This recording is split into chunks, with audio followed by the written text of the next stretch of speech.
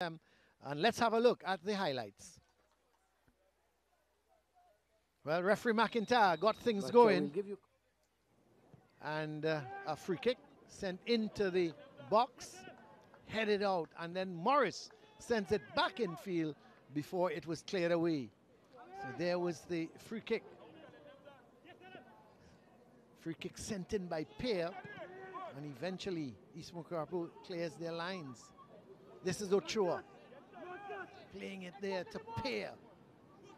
Gets it to Burke, sends the ball across, and Ochoa just couldn't get it.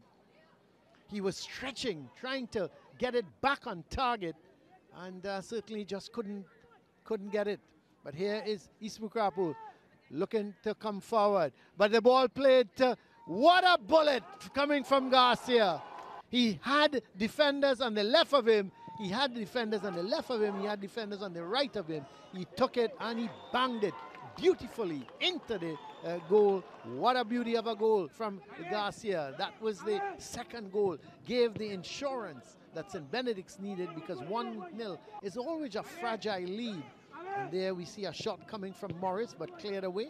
Headed away, it seems to be by Edwards.